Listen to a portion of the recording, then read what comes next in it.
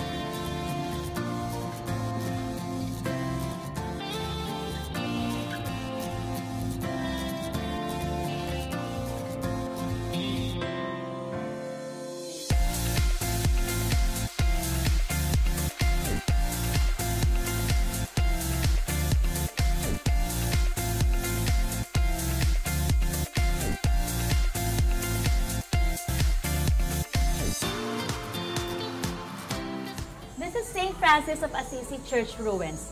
This was established by Augustinian Recollects in 1860 and it was classified as historical structure in 1991.